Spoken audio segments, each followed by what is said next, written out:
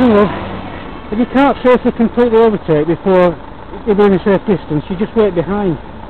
You don't come up beside me like that and start squeezing me into the cars. Yeah, you did.